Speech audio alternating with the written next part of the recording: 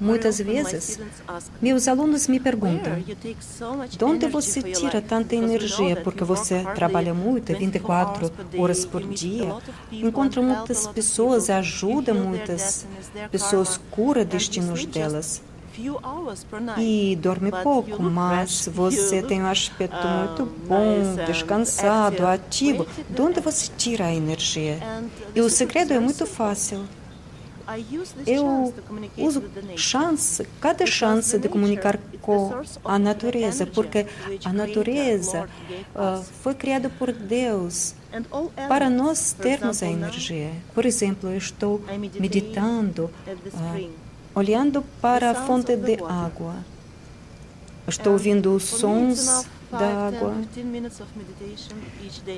Basta escolher cinco minutos da meditação para harmonizar minhas emoções, entrar na minha essência. Mas o segredo é quando você faz a meditação, não deve pensar no seu negócio. É o segredo difícil.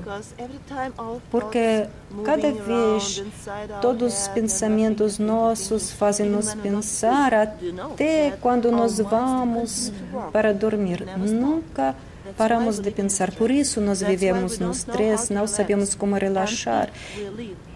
E se nós vivemos no estresse, não permitimos a nossa nossos instrumentos internos, a nossa origem, de nos restaurar.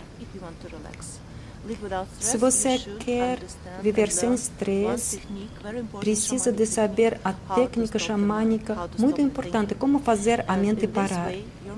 Nesse caso, a sua conexão com a natureza, a sua meditação vai dar resultados multiplicados e vai fazer você forte e poderoso.